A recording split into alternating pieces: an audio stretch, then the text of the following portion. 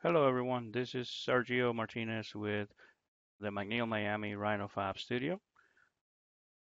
I'm going to go ahead and extrude these uh, shapes into uh, solids here to create a knob that we will be uh, 3D printing. So first thing I'm going to do is I'm going to take this hexagon here. Uh, I'm going to erase that. Uh, 0.0625, which is a 16th of an inch. Go ahead and move that up and extrude it up. Doesn't really matter how high, just something like that. Uh, next, I'm going to take that circle. I'm going to move it down. Then, uh, using uh, the same, I'm going to move it all the way up and hold control so that I get an extrusion. And there I have my the negatives that I will use to form the holes here on the knob. Now I'm going to take the outline of the knob and extrude it to uh, 5 16 5 slash 16.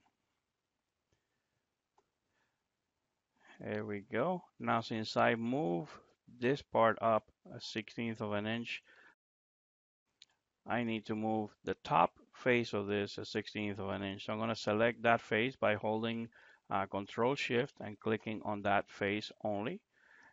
Then I'm going to click the arrow and type 0.0625 and that goes up a 16th of an inch. So now I am going to do a boolean difference from here remove this one and there I have the hexagonal opening and then I'm going to do an extrude not an extrude a solid uh, boolean split. So from this guy split this guy.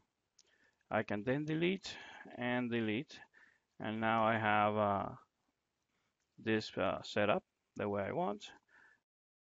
Now the bolt fits here and leaves me a eighth of an inch space which will fit the cap that covers the hole. So I'm going to extrude it to uh, an eighth of an inch 1 slash 8 there we go now, in order to make it look nicer, I'm going to add some radiuses. Uh, so I'm going to add a variable radius fillet uh, along the top edge. I'm going to chain edges.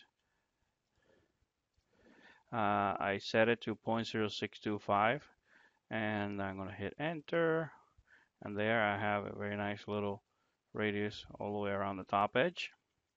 And maybe, maybe do something along the bottom also, just to make it smoother and easier to remove from the 3D printer. I'm going to add a very small radius down there, maybe like uh, 0.03. Uh, set all. There we go. Nice little radius there so the spatula can go under easier when I'm removing it from the 3D printer. Uh, next, I'll add an eighth of an inch to the little cap over here all the way around. Actually 0.03 probably works. This will allow it to slide in here much easier when it comes time to cover the bolt. And this is the end. Uh, the bolt will go right in there and drop in there. The cap head will stay inside there and then this will cover it and it will look nice and sağlıyor.